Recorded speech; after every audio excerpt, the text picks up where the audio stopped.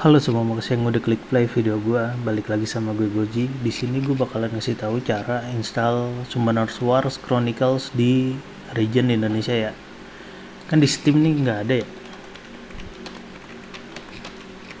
Chronicles kita cari. Oke di sini nggak kedetek. Tuh. Nah, di sini nih gue lagi nginstal nih. Coba nanti kira-kira gue juga belum tahu bisa dimainin apa kagak tapi gue udah berhasil nginstal. Caranya gini kita minimize dulu deh. Nah pertama install dulu nih software VPN Client Manager.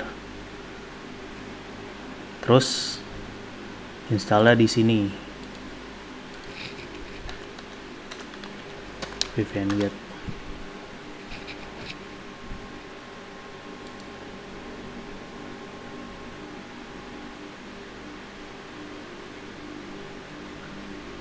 nah terus habis itu ke how to connect. Setelah how to connect ke soft either VPN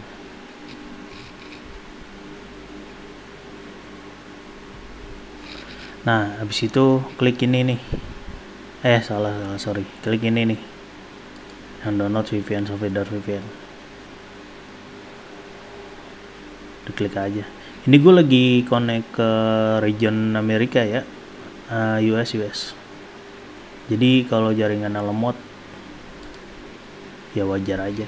Karena lagi pakai VPN dan lagi download War ya pokoknya ini download deh. Ini mau lewat IDM atau lewat sini juga terserah. Ini gue close karena gue udah punya ya nah setelah itu nih linknya ini nih nanti gue bakalan taruh di deskripsi. Ini tinggal dipaste aja. Nanti nongol dia di sini. Yang pasti kalian buka steamnya dulu ya. Steam ini dulu nih. Nah setelah kalian download software VPN ini kalian ini install seperti biasa next next saja terus di sini klik dua kali nih. Di relay ya. VPN relay server. Nah setelah itu klik region. Nah gue makanya di sini United States terserah mau pakai apa. Soalnya kan sebentar ini kan baru keluar di United States sama Kanada ya. Jadi gue pakai ini.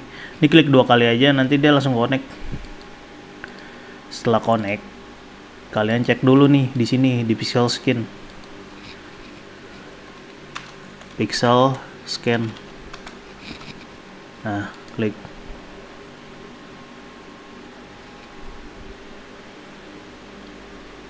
Nah, nanti kalau udah misalnya pokoknya IP-nya udah good di sini.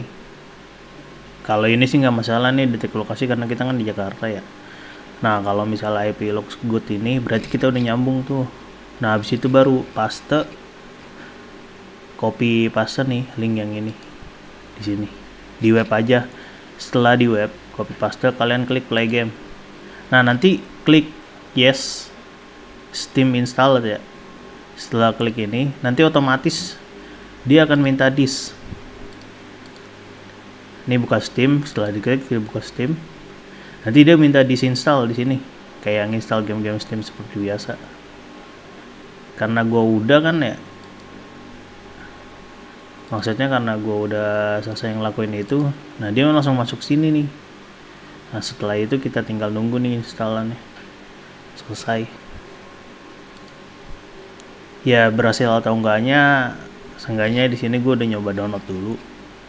Kalau emang work ya silahkan dicoba nanti. Karena di region saya ini belum keluar game ini. Sekian dari gue Goji. Terima kasih